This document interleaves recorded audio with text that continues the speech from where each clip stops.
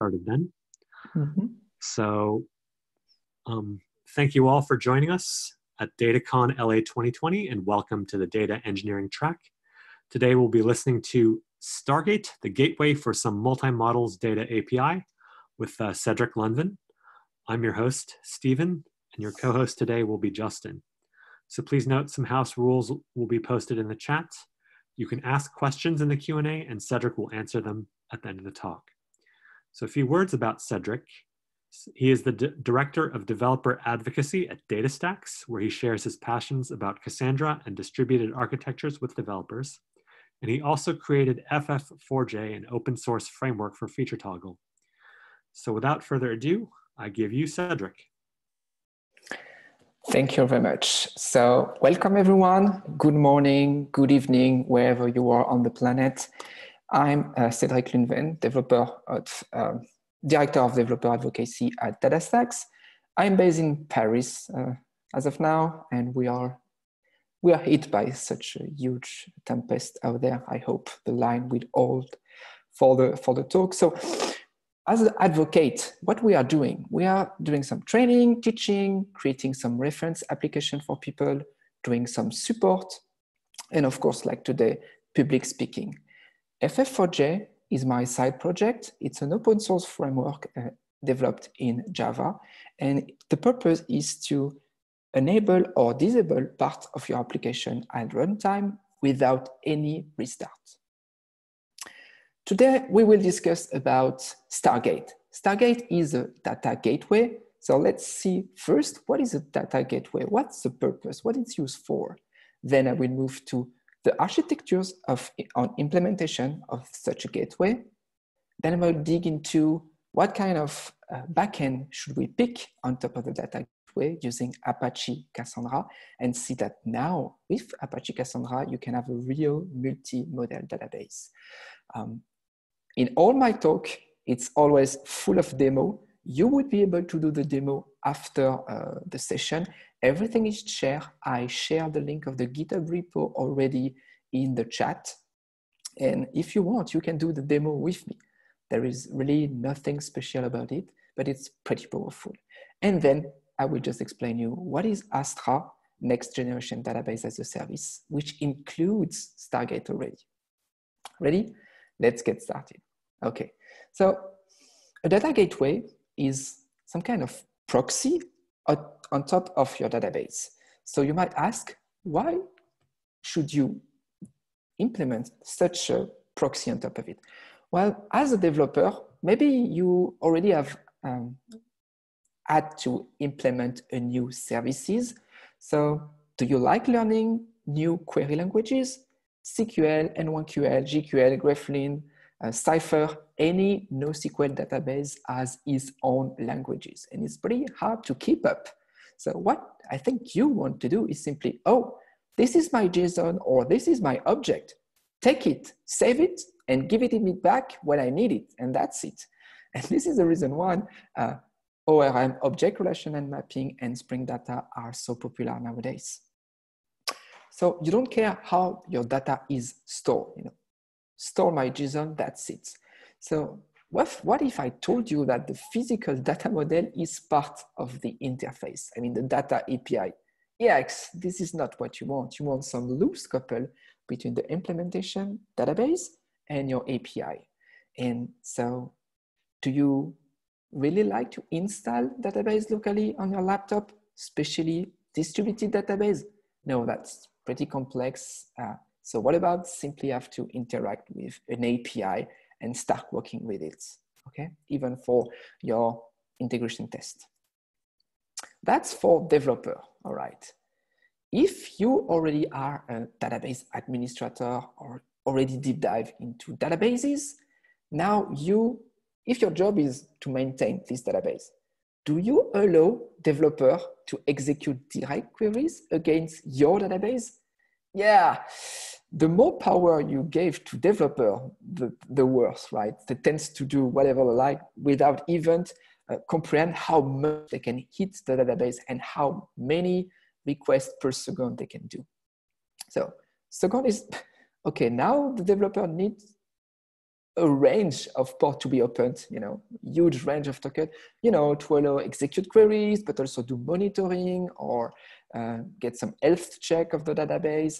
And so now you need to open the port and it's not as secure as you would like to be. You simply want the API.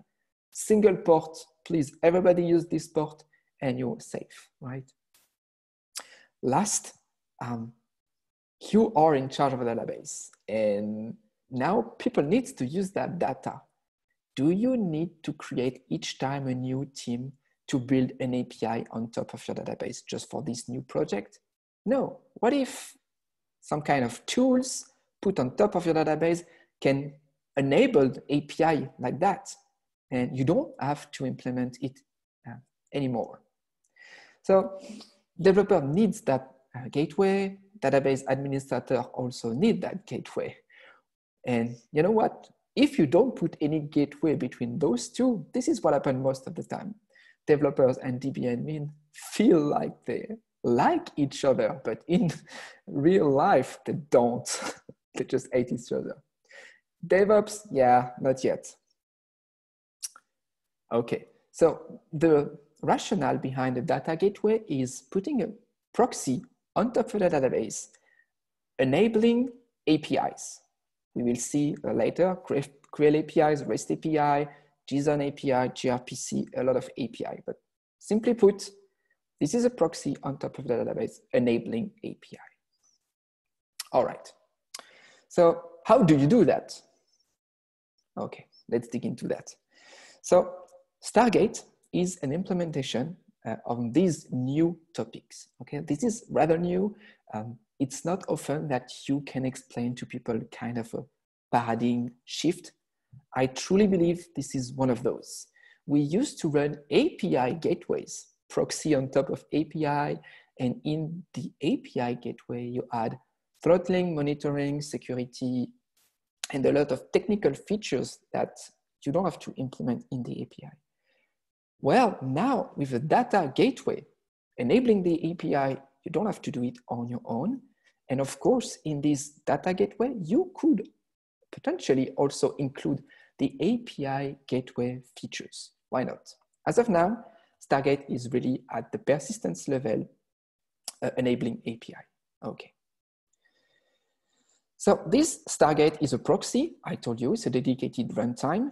We can work with multiple storage and expose multiple kind of API. The idea is really to introduce some loose couple between people using the data and how the data is stored. All right, so if I dig into Stargate, on the, on the top, there are some API extension points, ways for a developer to implement uh, APIs for everyone. Don't worry, you don't have to implement those. We, uh, we have done uh, a few implementation already for you. And the persistent extension is how people will store the data. So now you can switch, potentially you can switch from one persistence, like one kind of databases, Cassandra, NoSQL, um, Mongo, for instance, to another one uh, and the loose coupling is introduced by the gateway. And the gateway will handle authentication, uh, API and um, exposure, security uh, as of now. But later, we will add new technical features um, to add more capabilities to this gateway. And you know what? This tool, this framework is open source. It's not something I sell. Stargate.io you see what it is, you can run it, and you know what? We will run it together today. So as of now, okay, for the persistent storage, we do have Cassandra 3.11, Cassandra 4.0, and uh, DataStax Enterprise. Okay, this one is an enterprise product, 6.8. And as an A APIs, we do have the CRUD, create, read, update, delete, search as REST we do have the GraphQL, we do have a document API. Remember, take my JSON, save my JSON, I don't care. And we also have the existing Cassandra query language enabled on Stargate. And you would authenticate through HTTP basic. Okay? So you might say, okay, um, so Cassandra, Cassandra, Cassandra, um, why, what is uh, the database Cassandra? Why did you pick this first uh, persistence extension? Um, and how can you pretend that this single uh, class of NoSQL database can do multi-model?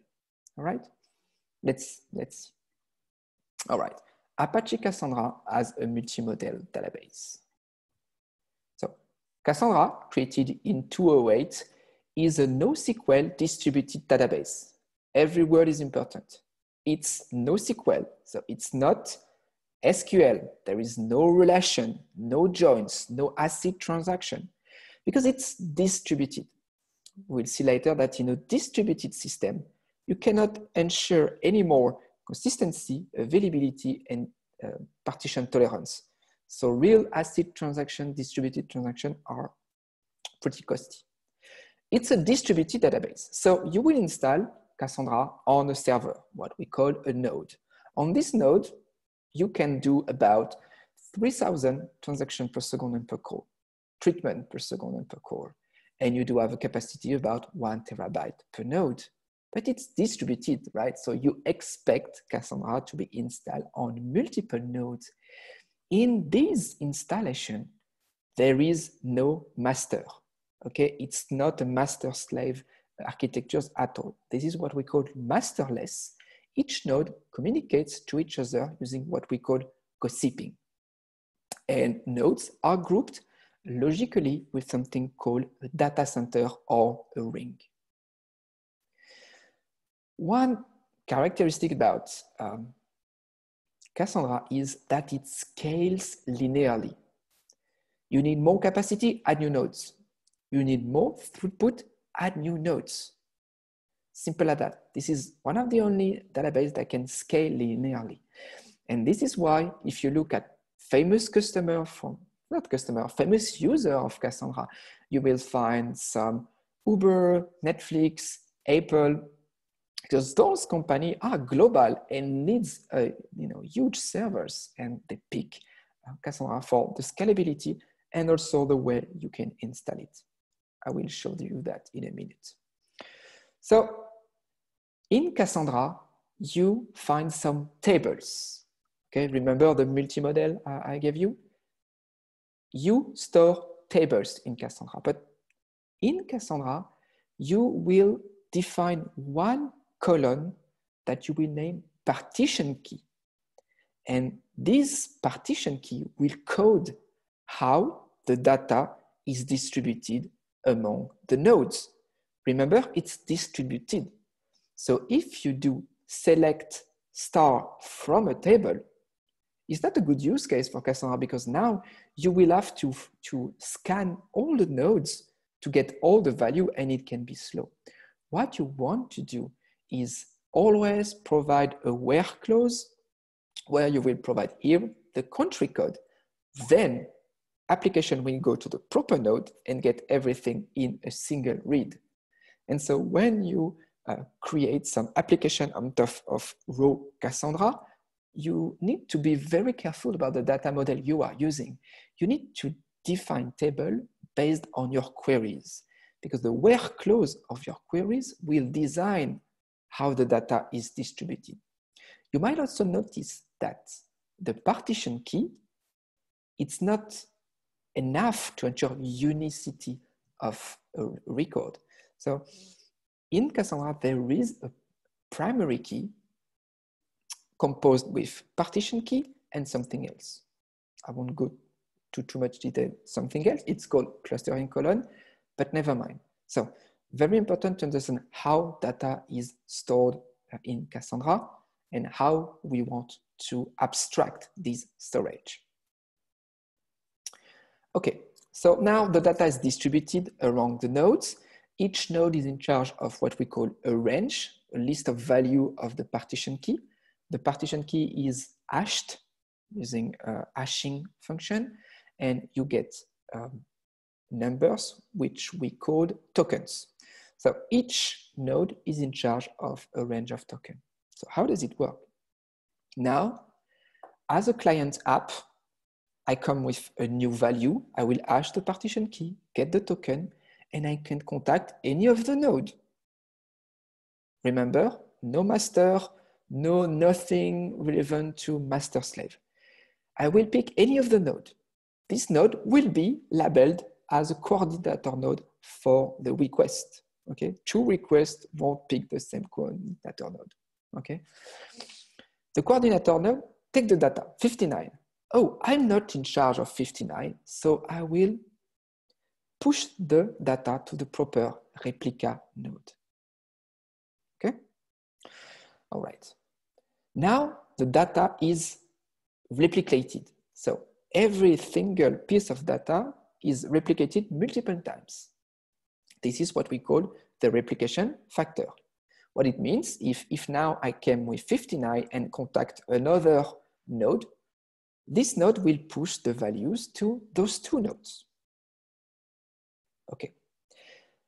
And best practice is to use replication factor three. So now you can contact any of the nodes, ask to write your data or read your data. It's working in the same way. And the data is pushed or read in the proper replica like that. So why do we do that? Okay. It's um, so data Cassandra scale linearly. Why would you put your data replicated in this manner? It's not to distribute the load, to be honest It's really that now that as there is no master and the data is available multiple time, now you can lose any of the node and it's not a big deal. Now, if I want to read the data 59 and if one node is not available, I still have two remaining nodes to get back to the data. And you know what? The node that noticed that, oh, I was not able to get the data from every node. So one node may be down. Okay, well, I will store locally this data and when the node will be online again, I will simply put it back, the data. And the database is self-healing. Okay. On a Cassandra cluster, you can have one ring or multiple ring. So this is a pretty nice way to you know, install one ring in each cloud, part of the same cluster. And now you do have a single data layer available in multi-cloud. Cost of communication in between clouds are still pretty expensive, but technically speaking, you can do that, okay? Um, and uh, you can enable VPC peering uh, between cloud and effectively now your app um, can have the same data available in all the clouds. So I told you uh, in a distributed system, you cannot ensure availability, consistency, and partition tolerance. This is what we call the CAP theorem or the Brewer theorem. With everything I just told you, we can say that Cassandra by default is AP, availability, partition tolerance. Availability because data is replicated and if you lose a node, it's not a big deal.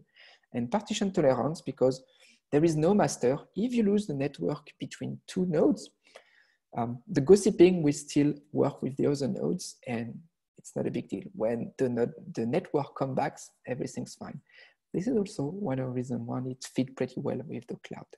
But by settings in the request, you can move from this AP um, default behavior to more consistency you will define on each request what we call consistency level, okay?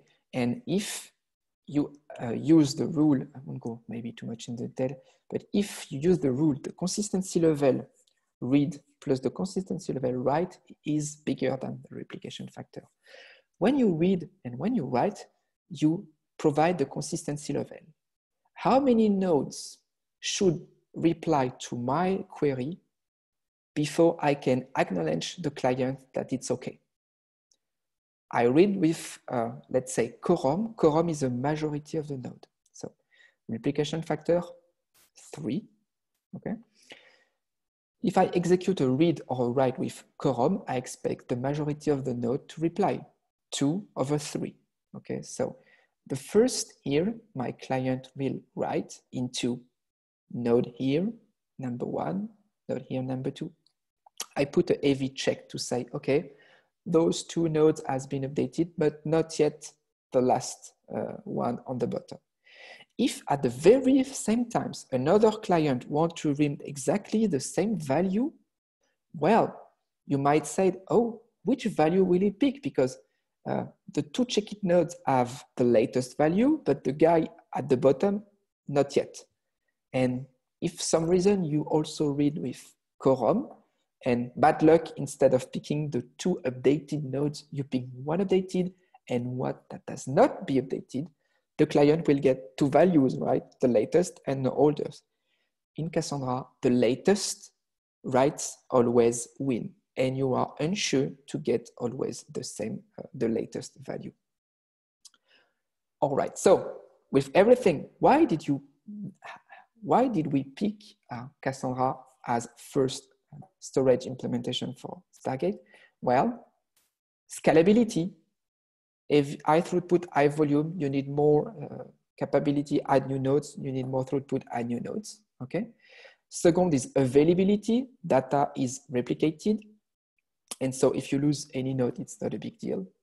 As it's distributed, you can have uh, data all across the world and it's cloud native. Remember the distribution among multi-cloud? Well, you can do multi-cloud, hybrid cloud, and that's pretty relevant for a gateway um, on top of the data. Okay. The way Cassandra store the data is called column oriented. You get a key and multiple columns, creating a tables. This partition key uh, will code how the data is distributed. Okay, so Cassandra, default behavior, that's the, the specification of Cassandra. It's column-oriented NoSQL database. But there are others NoSQL database uh, out there.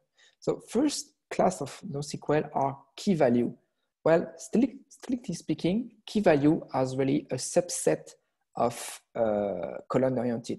You can have uh, in a partition a single value, which is a key, and a single column, which is the value. And now you do have a key value, key value, and you can uh, ensure the consistency you want with the consistency level. Time series database? Well, data model in uh, Cassandra fit the time series use case. I mean, first, high throughput and data model, you can have as a key, the sensor ID, as values, um, the, the, the timestamps and the different values you want to get for your sensors working pretty well. Uh, you can have a dedicated ring for uh, saving all the data and another ring in the same cluster to do some Spark aggregation, Spark machine learning processing. So Cassandra and Spark work very well uh, one, uh, one and each other, uh, especially for the OLAP queries. What about graph database, which is kind of uh, uh, not the last, but also a pretty famous kind of NoSQL database? Well, it's not in the OSS Cassandra as of now, but just for you to know, in the DataStax enterprise uh, product, we have fork TitanDB, and now you can simply say, okay, this table in Cassandra expose this table as an edge or as um, uh, as an edge or as a, a node uh, vertex for my graph. And you can execute graph traversal using the Gremlin language. You can test uh, DataStax Enterprise for free. Uh, there are some Docker images for you to test, uh, but it's not part of OSS Cassandra and it's still not there in Stargate. So what's missing here? Remember, you want your JSON. You want to save the JSON. And saving the JSON in Cassandra, well, you could do that already. There are some commands, insert JSON, select JSON part of the query language for Cassandra. You can also have set list map, user defined type, and even nested structures within uh, UDT. But the issue is it's strongly coupled. There is a schema, so you can only insert um, something that has been defined. It's not what you want schemaless. And so the last frontier was okay, now I simply want to do to insert and retrieve any JSON document efficiently, allow schemaless. I want to read and write uh, fast, even if um, it's look like tables. And when I do delete, I would like to uh, limit uh, a known Cassandra issue, which is tombstone, limiting the number of uh, items um, created when you delete something. You know, something very efficient, JSON stata. Okay, let's go. So to do that, we implement at the Stargate level something called document shredding. Every single layer in the JSON will have its own column. Okay, so I do have my key, which will be my document ID, and then for each nested uh, property, I will use, I will have some P0 to P9 properties. And in the end, I will have values. So it could be a Boolean value, text value, or double value, and the leaf. So let's see what it looks like. If uh, I give you, excuse me, Cedrick. Um, I'm just. This is just a time warning. There's about uh, you've got like four minutes or still left before uh, Q and A. All right. Okay, so um, if you look at the document shredding, um, this is A, B, C, and you can see that AB1 for the leaf 1 and AC2 for the leaf 2, and now there is no B. Okay, I can do some uh, arrays, but you know what? Let's move into more demo mode. So I give you the link about my demo, okay? It's all in conference 2020, Stargate, okay? First, it will ask you to install Docker, Docker Compose, and curl. And what you want to do first is start all the containers. So I already do that and see if I go Docker PS, okay? I see that I do have my containers running.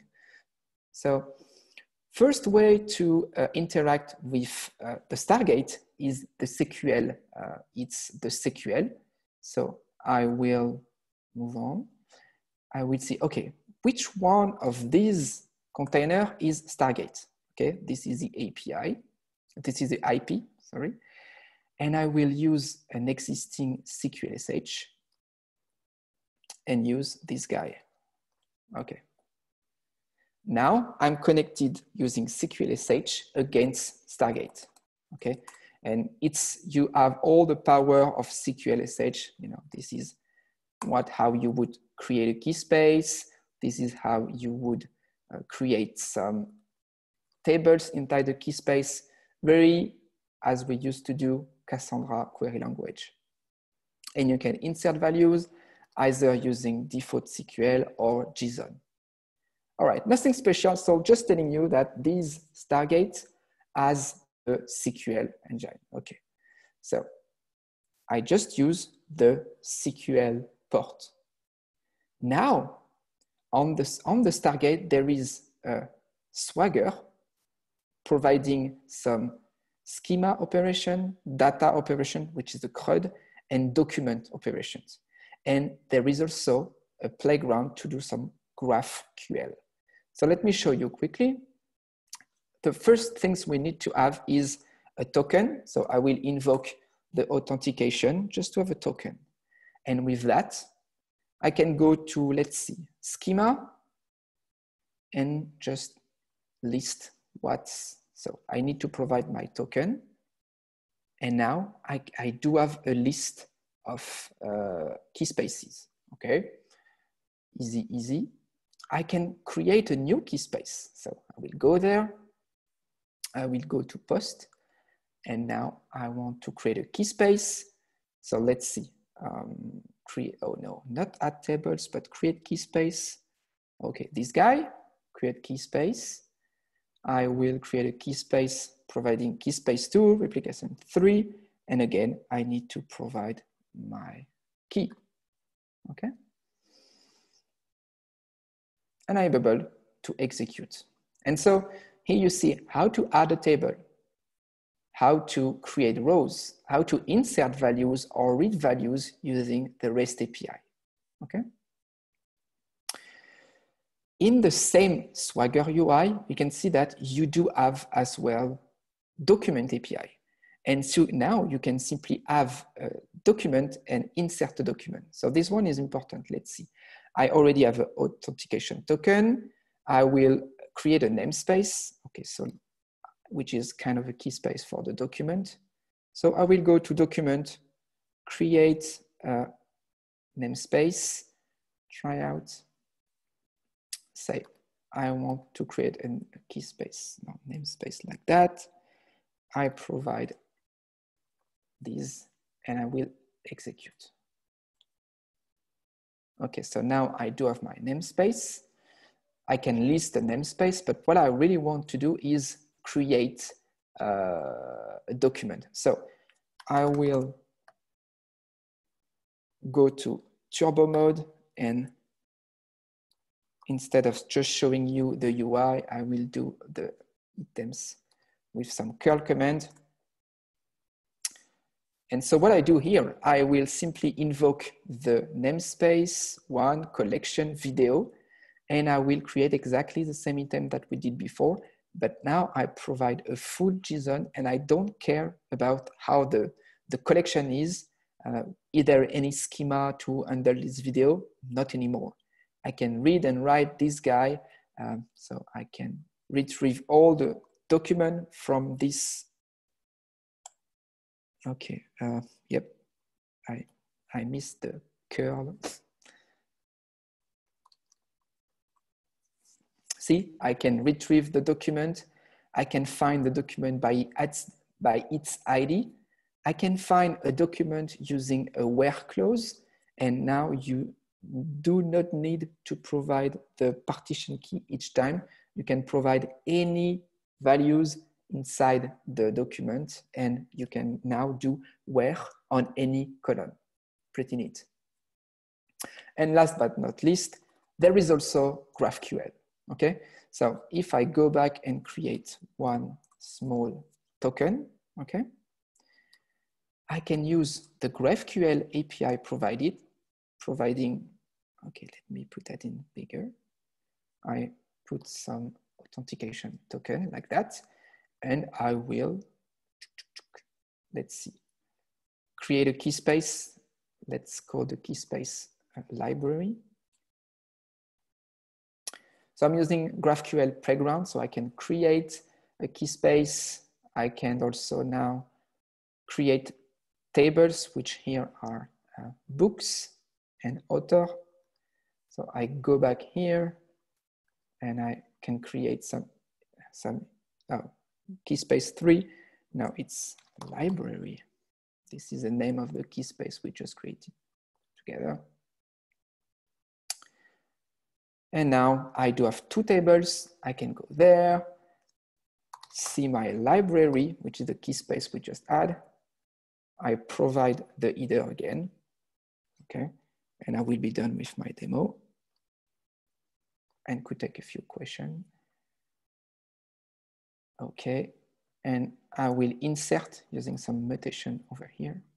See, I'm really following uh, the README. You can go and do it on your own. And as you can see, I can not only do some document API and create new documents, but I can also totally, on top of Cassandra, use some GraphQL. Okay, and if I only have the author, you can do that like that. Okay, and at DataStax, we provide Cassandra as a service in the cloud. Okay, and in this Astra, Stargate is enabled. So if I go there and you can simply create a new database it's also part of the README. You can create a database for free. So here I did a demo, everything using Docker. But if you don't want to do anything, you can simply go to Astra and create a new database. Add database and boom, you can install. You can even have a database for free. It's a free tier, free forever, no credit card to provide. And with that, I just want to conclude saying that, okay, in Astra, there is the full Stargate uh, for you, enabling Document API, GraphQL API, REST API, CQL API on top of Cassandra. But Stargate itself is open source and it's go to stargate.io and you can see that it's in EV development. Soon the Kafka interface will be there. But as of now, you can go to Astra, create a free account and redo the demo with uh, the database. Okay, everything is available, including Stargate. I'm a developer advocate at DataStax, and at DataStax, we give you a ton of resource for you to learn Cassandra. academy.datastax.com, datastax.com slash dev. Everything is free, by the way. Community.datastax.com, which is Stack Overflow for Cassandra, and uh, my very own, I own the YouTube channel DataStax Developer, where we do live workshop every Wednesday, Thursday for free. You can subscribe to the channel and you can see multiple topics that we are covering. Machine learning, Kubernetes, Cassandra, Python, Java, Node, tons of workshop there already pre-recorded. It's all live. So take a look and provide some feedback. And with that, I'm done and all ready right. for question. Thank you. Uh, thank you very much, Cedrick, for your uh, interesting talk. Um, we are, in fact, uh, almost out of time. Um, so, but there, I will. I do have one question which I will post um, in the chat. You mentioned graph databases. So, are there plans to sort of implement them with Cassandra? Because you said it. Uh, Yes, so as of now, in the Stargate.io, you can see that the persistence is multiple version of Cassandra and DataStax Enterprise. But it needs to be a community effort. Okay, so anyone can fork and implement the Mongo uh, backend, for instance, or um, Redis backend. There is nothing preventing it. There is simply a bunch of interface to implement. And that's the real purpose of Stargate. It's not to be only based on uh, Cassandra. It enables uh, a huge range of use case for Cassandra, and it is the reason why it has been built at the first place. But the purpose of Stargate is really to be able to be plugged on multiple uh, technology. I see. Well, uh, thank you very much. So uh, thank you, Cedrick, for your presentation. I appreciate all the attendees for their questions and interactions during the session. So please contact the speakers if you have further questions on the topic. And please provide your comments and feedback to us on the community board or start a discussion there to connect with others in the DataCon LA 2020 community. Thank you very much for joining today's presentation, and I hope you can gain some insights from this session. And have a wonderful day, and thank you for being part of this year's DataCon LA. Thank you now. Thank you very much. Bye-bye.